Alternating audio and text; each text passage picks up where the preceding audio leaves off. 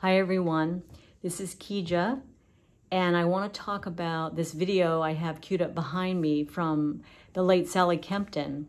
Uh, but before I do that, I want to really thank everyone who has been supporting Awakening the Goddess. It has just been wonderful, the support that we've gotten um, to the film online, on um, YouTube, on our Facebook page. So I want to say thank you so much. Um, when you uh, you should know that when you purchase the film, uh, we don't make any money from the sale of the film. The money goes right back into keeping it up there on the streaming site. So thank you again so much for your support. And once you purchase it, you know you can watch it as many times as you want, which is great because there's so much material. It's very a very dense um, subject, as you know, those of you that have seen it. And I want to encourage um, people who have any questions after you've seen the movie, or just if you haven't and you have questions about Kundalini or, you know, why should I watch this film? Um, please reach out at um, our, our website, which is Awakening the Goddess film.com and it has a link to um, our, our email awakening the goddess film at gmail.com and that's a great web uh, resource that website because it has um, all the organizations and teachers that were in the film um, are we have that resource page where you can reach out to them and um, you know, and, and get your questions asked. And if not, please reach out to me. If I can't answer your question, I will connect you with someone that maybe has an answer for you. And um, I just love hearing your questions. I had a question from someone recently that said, Is Kundalini God? And I thought, what a great question. And this video of Sally behind me here, which you'll see in a minute, this video is a great um, answer to that question. Um, and I want to talk a little bit about um, how Sally got in the film.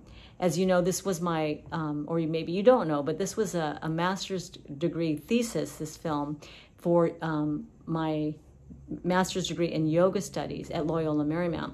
And that program is run by Chris Chapple. And when many people heard that he was involved, thank you, Chris, um, they, um, you know, jumped on board. Because he has such a reputation in this field of yoga. And so when I um, asked Sally, you know, would you be a part of this? She was not, she didn't hesitate. And I thought, oh, that's fantastic. And um, I actually met Sally first many years ago when I was living in an ashram in India. And, and as many of you probably met her when she was Swami Durgananda. And I remember even back then, she was it was so clear that she could take any subject and make it uh, easy for someone to understand, especially these kind of esoteric or you know possibly esoteric, difficult to understand subjects in in you know in the world of spirituality. She could make it very easy to understand. And so I knew that when she was a possibility of being in the film, I knew we, we had to have her in the film. And so the week that we were shooting, um, there were wildfires in California, which there seem to be almost all the time right now. And um, it was it was threatening her home where she was living here in Southern California, so she had to evacuate the area. So I thought um, my shooting schedule is so tight for this project, I'm to lose the interview. But she said to me, you know, um, I'm living, my friend up in Northern California has invited me to stay up there while the fires are, you know, we're working on the fires. And so, can you get up here to Northern California?